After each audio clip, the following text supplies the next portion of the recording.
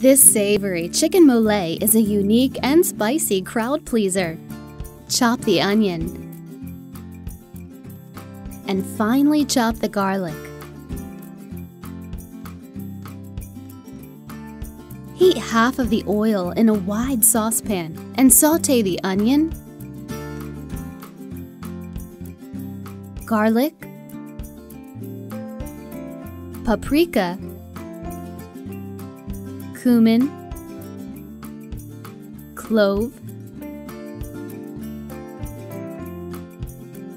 cinnamon, and cayenne pepper for 5 minutes over medium heat.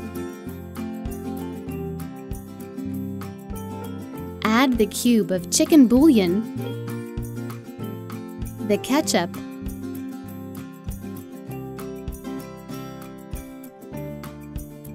and the water. And reduce it over medium heat. This will take about 8 minutes. Take the pan off of the stove and transfer the sauce into a heat-resistant bowl. Break the chocolate into pieces and add them to the sauce. Use an immersion blender to puree into a smooth sauce. Add salt to taste. Cut the chicken breast into long strips and sprinkle with salt.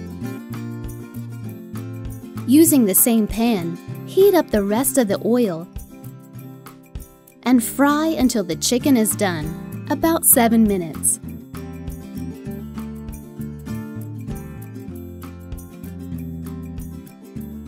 Place the chicken on a dish.